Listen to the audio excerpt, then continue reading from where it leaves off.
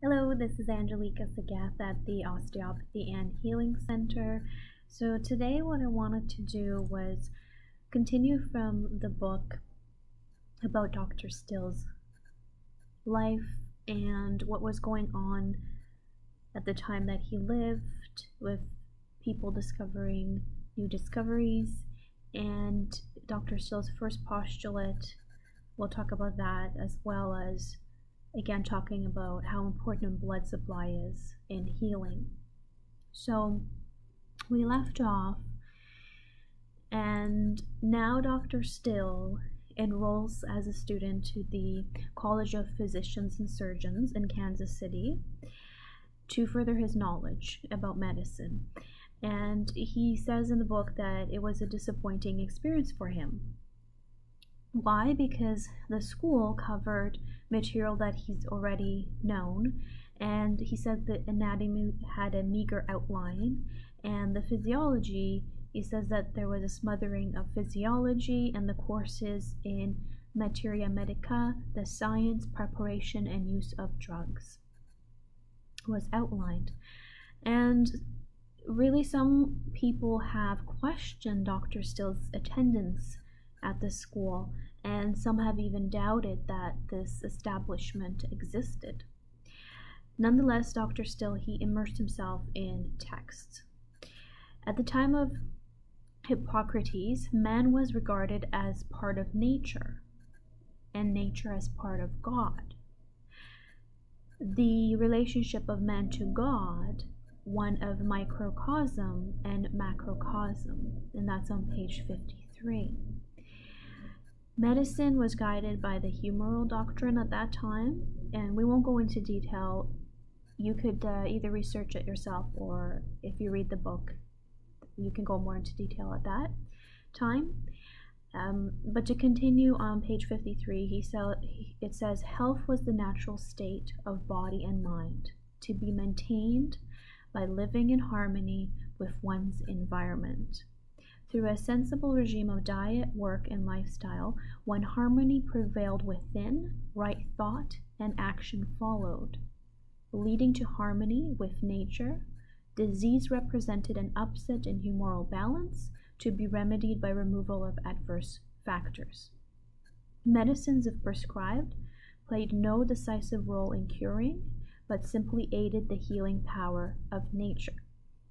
So I bring this quote out because it's really interesting how it says that the health of your mind and your body was a natural state that was to just be maintained with living in harmony with your environment. So you might think, or your patients as well may think about their environment and how their envi- environment is impacting their health.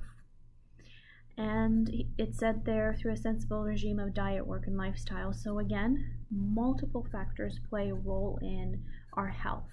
And we can look at all these different factors. How is my diet? How how's my work? Do I do something constantly for a long period of time? Is it repetitive? Is it causing stress on my body? You can look at your lifestyle and make lifestyle changes.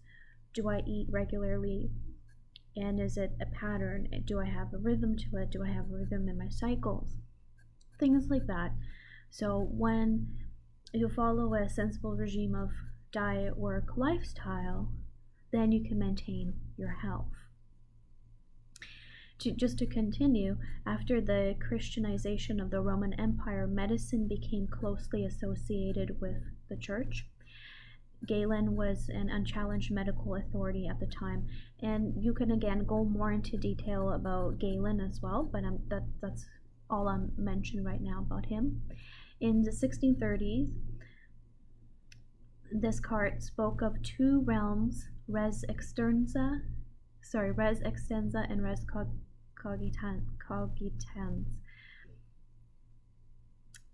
And that's on page 55. Again, I'm not going to go into which what one means and what the other one means. Sorry for the mispronunciation, but you could go into detail as well about that. So we talked a little bit about Descartes and in the late 17th century, Isaac Newton regarded the mind as a unique but relative, relatively insignificant substance. so these are some names now that I'm just gonna say. You could research them more, and also in the book, it gives you a little bit more detail about who these people were, what they discovered. Thomas Hobbes, Thomas Huxley, Descartes, William Harvey, Frederick Waller, Luigi Galvani, which we mentioned in a previous video, when I believe we were talking about electricity or energy. So at this time, there was a shift. There was a shift in the thinking. The realm of matter came, overshadowed all other theories and beliefs. There was a shift of inquiry from ultimate why of events to immediate how. Knowledge was no longer qualitative possession of the individual, but something external, quantitative, and exact. So, in our profession, we will look also for qualitative and quantitative signs and symptoms.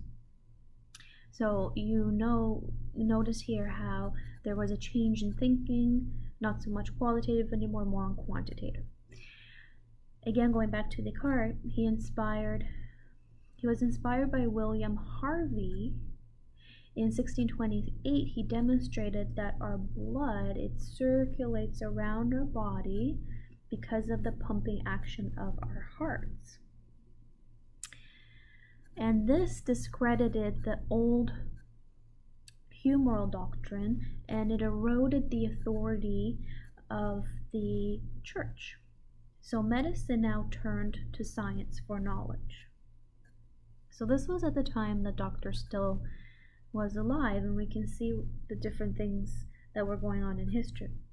Still learned a system from his father, which we mentioned in the previous video was Abraham, and he learned that of the influential Philadelphian physician Benjamin Rush, and 1768 Edinburgh University graduate and student of Cullen. So Benjamin Rush, he theorized adverse stimuli cause hyperactivity of the blood vessels, a state that was called hypertension and exhaustion. Still investigated homeopathy and eclecticism, concluding both a conglomerate mess of conjectures and experience on the ignorant sick men, and that's on page 60.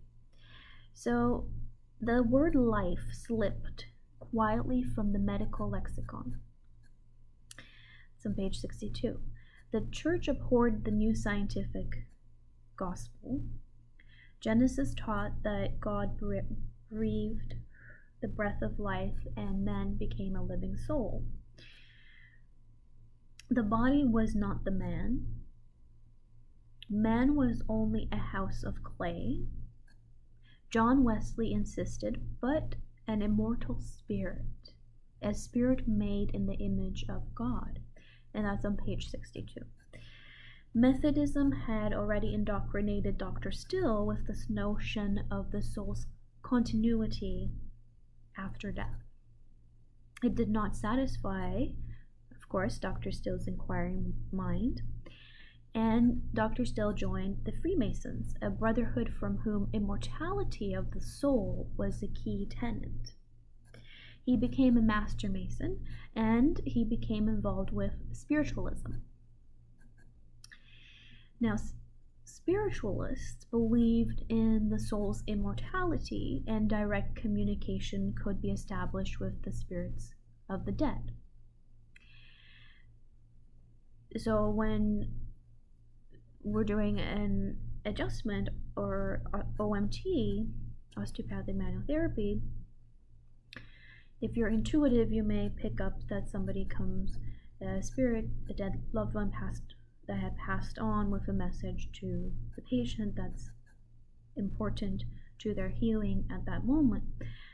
So Dr. Still already was aware of these things because he was a method he was a method Methodism and he also was interested in spiritualism. He invented things like a churn.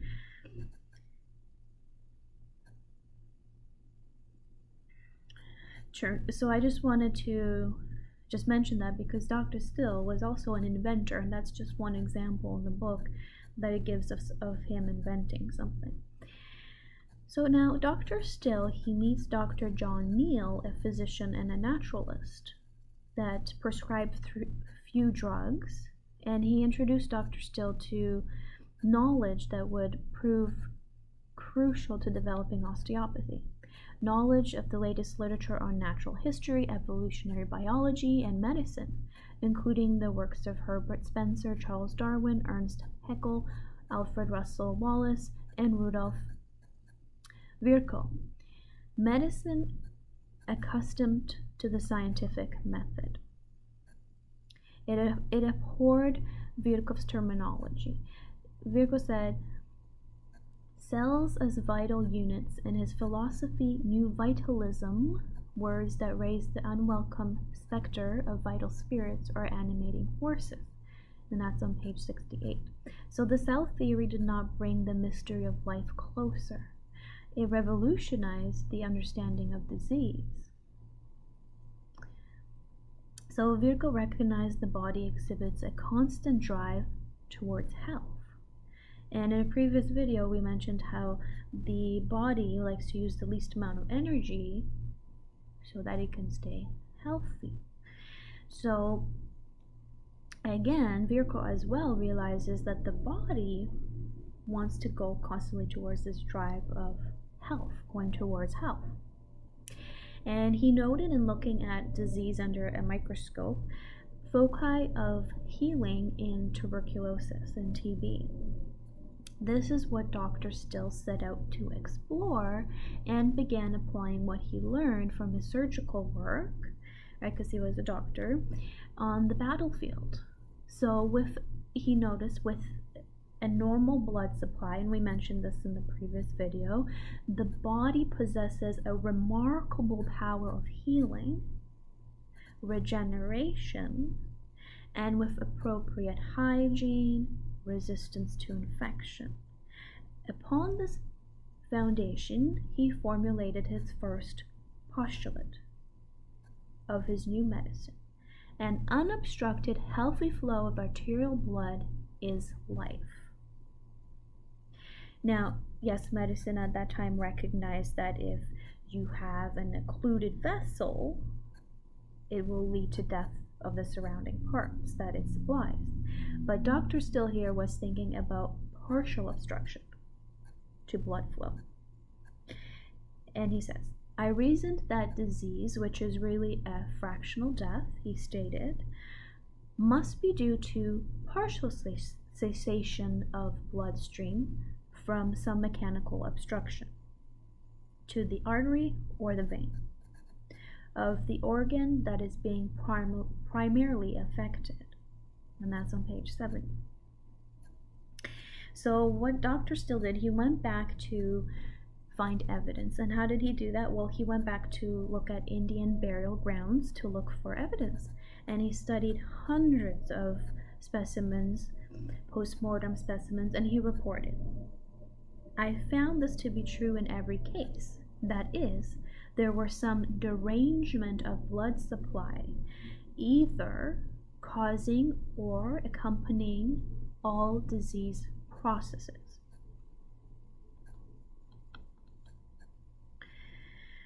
With patients, he experimented, he did manipulations to invigorate the circulation of blood to the liver, to the bowels, and other organs within easy reach.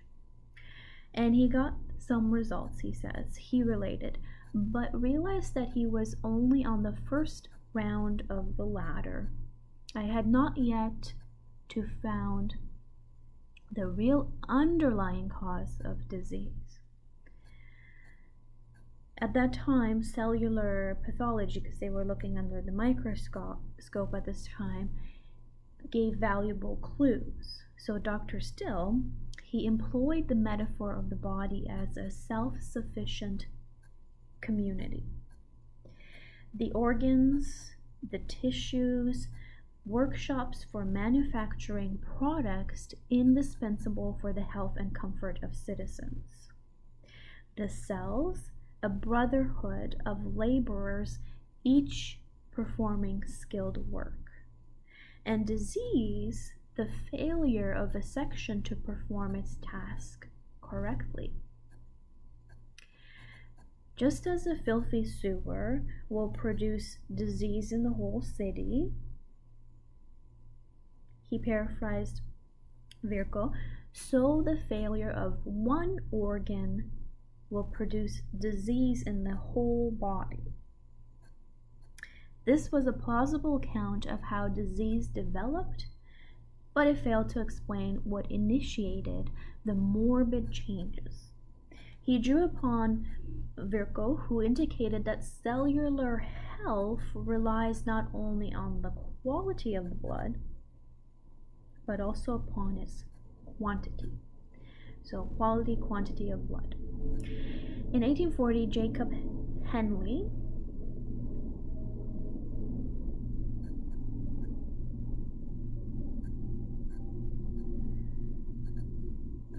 So I'm just letting the plane go by so you can hear me.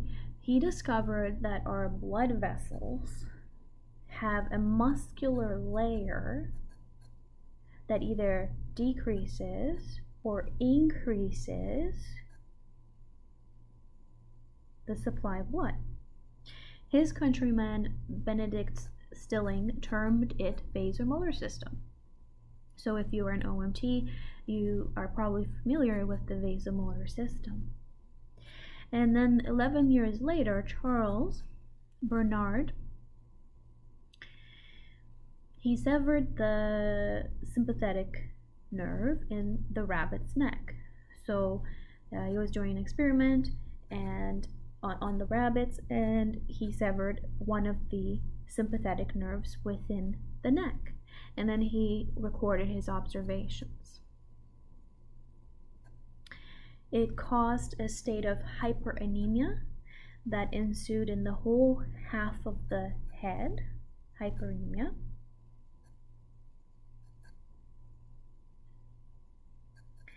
The ears became dark red. The vessels greatly dilated.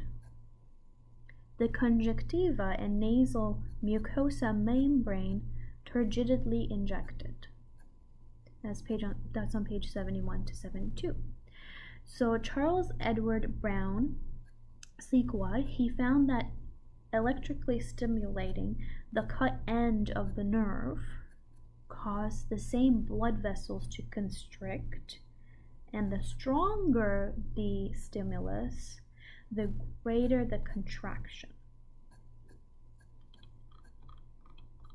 So now Dr. Still writes, nerves were supposed to carry nerves that are supposed to carry motor impulses to the muscles and to carry back sensations from the periphery.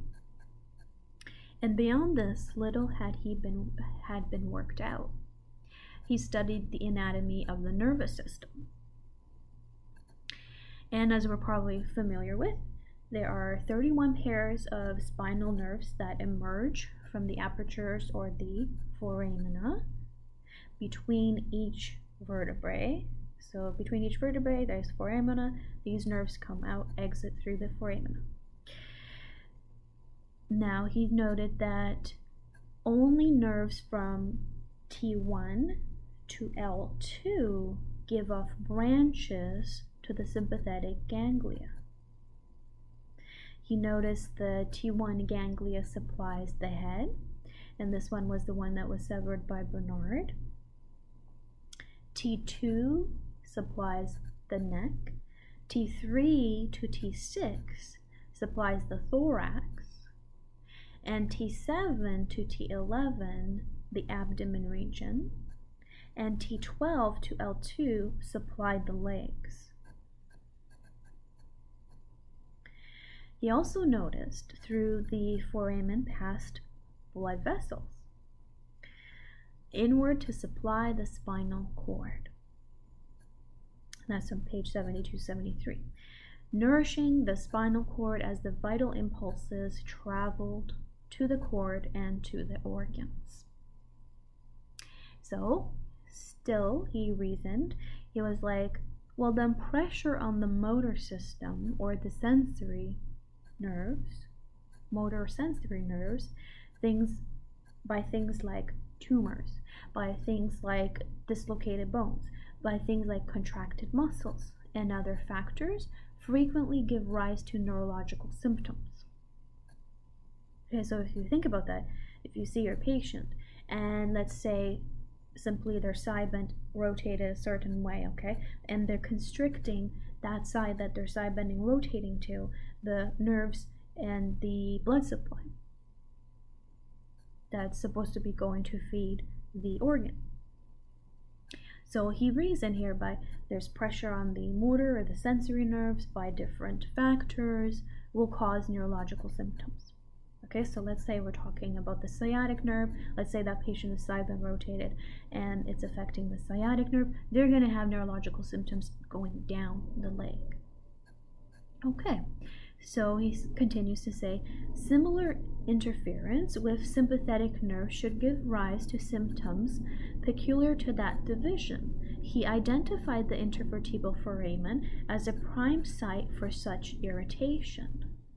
He theorized that a strained spinal joint, by altering the relationship between adjacent vertebrae, would narrow the foramen, irritate the existing spinal nerve, and produce motor sensory, or sympathetic symptoms depending on which fibers within the nerve were compressed. Two experiences supported his hypothesis. So, this is just uh, two experiences that Dr. Still had that confirmed what he was reasoning there. So, experience number one, he was traveling on his horse and he wanted to cross a creek, and there was a foot long spanning um, tree that was spanning the creek. So, or bark. And what happened was the bark detached, and then the mule that he was, the mule stumbled, and he fell to the ground, striking his sternum. Okay, so he falls and he strikes his sternum on the pommel of the saddle, and then this causes him to have immediate heart palpitations. Okay, so that's example number number one. And what Dr. Still then did, he thought he would get some opinions from the doctors in the camp that he was working at. Uh, sorry, working that he, he well he was working at at that time. So he asked 25 doctors at the camp to examine him, and the diagnosis that they came up with was that he had val- valvular disease. So Dr. Still, he cured himself. He felt an ache in the upper back, and he placed a wooden ball used in croquet um, close to croquet croquet uh, close to a tree. So he puts his ball close to the tree. He lays down on his back with his feet up on the tree trunk and the ball between the shoulders. And he just twists around a little bit and he feels something slip. And he realizes his backache has disappeared and his heart palpitations never returned. So that's on page 73 and 74. So I'm going to just uh, end off there. I hope you enjoyed that. That was just some history about getting to know what was happening at that time with Dr. Still, some of the thoughts that he, he might have been thinking because of all these different discoveries that may have been going that have been going on um, at that time in history and how he came about forming his first postulate. And if you remember that, that was an unobstructed, healthy flow of arterial blood is life.